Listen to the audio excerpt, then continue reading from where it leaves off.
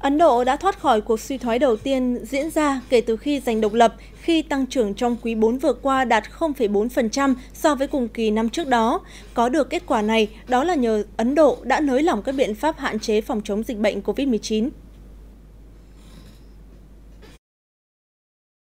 Việc nới lỏng các biện pháp hạn chế do tỷ lệ lây lan dịch COVID-19 chậm lại trong thời gian qua được cho là nguyên nhân khiến nền kinh tế Ấn Độ ghi nhận những tín hiệu tích cực – Chính phủ nước này hy vọng tăng trưởng kinh tế sẽ càng được thúc đẩy sau chương trình tiêm chủng lớn được khởi động từ tháng trước với khoảng 12,2 triệu liều vaccine đã được tiêm tính đến thời điểm này.